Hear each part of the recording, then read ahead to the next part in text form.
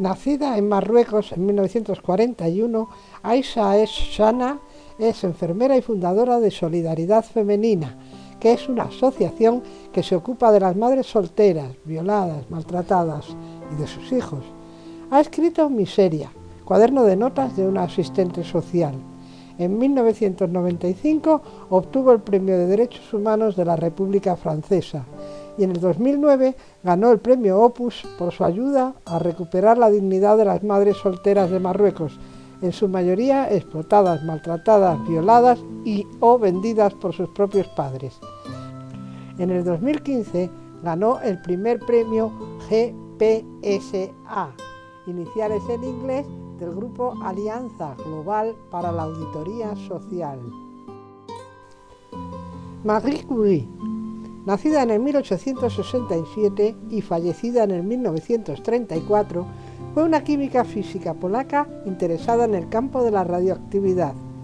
Pasó a la historia por ser la primera persona en recibir dos premios Nobel, así como por ser la primera mujer en convertirse en profesora de la Universidad de París.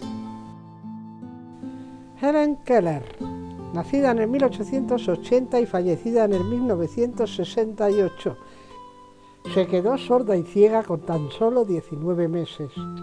Cuando cumplió siete años, sus padres buscaron una instructora que se llamaba Anne Sullivan y se encargó de su formación, logrando un extraordinario avance en la adecuación especial, como se muestra en la película El milagro de Anne Sullivan.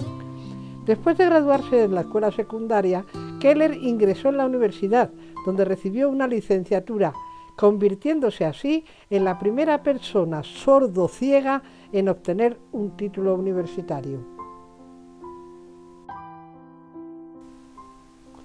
Indira Gandhi, nacida en el 1917 y fallecida en el 1984. Fue hija única de Jawaharlal Nehru, primer presidente de la India independiente. Estudió en Oxford. Tomó el apellido de su esposo Feroz Gandhi, no relacionado con Mahatma Gandhi. Participó activamente en la lucha por la independencia de su país. En 1966 fue la primera ministra de la India.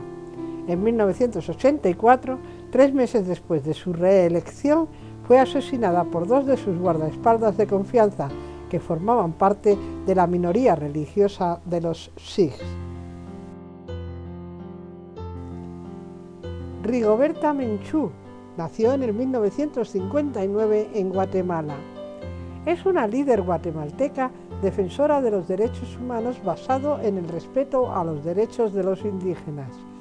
Es embajadora de buena voluntad de la UNESCO y ganadora del Premio Nobel de la Paz en 1992, así como del Premio Príncipe de Asturias de Cooperación Internacional en el 1998.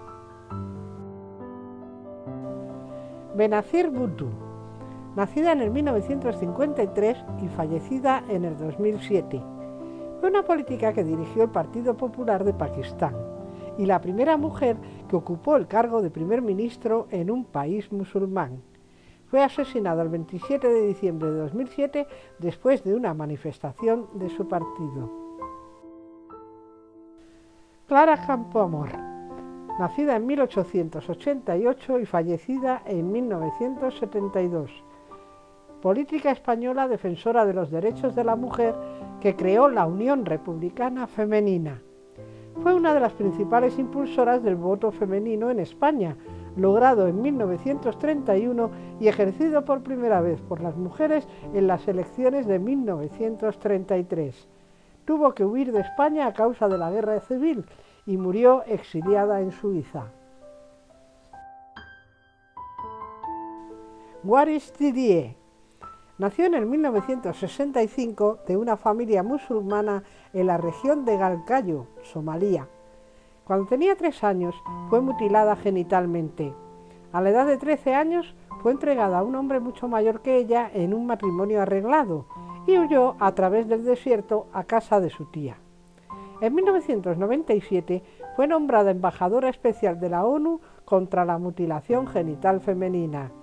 En el año 2002 crea la Waris Diri Foundation en Viena, la cual recolecta dinero para luchar contra la mutilación genital y ayudar a sus víctimas. En enero de 2009, Waris fue una de las fundadoras de la PPR, Fundación para la Dignidad y los Derechos de las Mujeres, que recolecta dinero para escuelas y clínicas en Somalia. Más reconocidas por la importancia del premio son las mujeres que obtuvieron los premios Nobel de la Paz. Berta Felicita Sophie, baronesa von Suttner, que recibió en el 1905 el Premio Nobel de la Paz como reconocimiento a sus trabajos pacifistas. Jane Addams, socióloga, pionera del trabajo social y el feminismo y presidenta de la Liga Internacional de Mujeres por la Paz y la Libertad. Recibió el Premio Nobel de la Paz en el 1931. Emily Lynn Walsh fue una académica estadounidense, escritora, sindicalista y pacifista que recibió el Premio Nobel de la Paz en el 1946. Betty Williams, fundadora del Movimiento por la Paz de Irlanda del Norte, después llamado Comunidad de Gente Pacífica. Fue Premio Nobel de la Paz en el 1976. La Madre Teresa o Teresa de Calcuta fue Premio Nobel de la Paz en 1977 por su labor humanizadora en la India y como fundadora de las Hermanas de la Caridad. Alba Myrdal Relmer fue una diplomática sueca galardonada con el Premio Nobel de la Paz en 1982. Fue una de las principales fuerzas que transformó la nación sueca de un estado de pobreza y atraso a un modelo para otras muchas naciones europeas, defensora del desarme colectivo. Aung San Suu Kyi, Premio Nobel de la Paz en 1991 por su lucha no violenta por la democracia y los derechos humanos.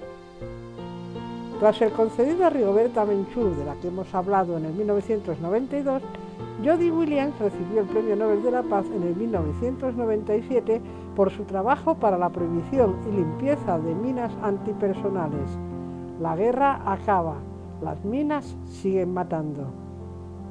Shirin Ebadi, abogada iraní que milita por los derechos humanos y la democracia, fue la primera iraní y la primera mujer musulmana en recibir el Premio Nobel de la Paz en el 2003.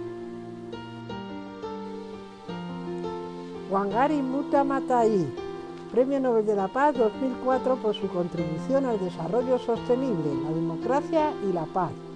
Fundó el movimiento del Cinturón Verde, una organización no gubernamental ambiental enfocada en la reforestación, conservación del ambiente y los derechos de las mujeres. En el 2011 reciben el Premio Nobel de la Paz tres luchadoras por los derechos humanos. La presidenta liberiana Ellen Johnson, su compatriota Mag y la periodista yemení Tawakol Karman. Y el último Premio Nobel de la Paz concedido a una mujer fue en el 2014 a Malala Yousafzai, por su lucha contra la represión de los niños y jóvenes y por el derecho de todos los niños a la educación.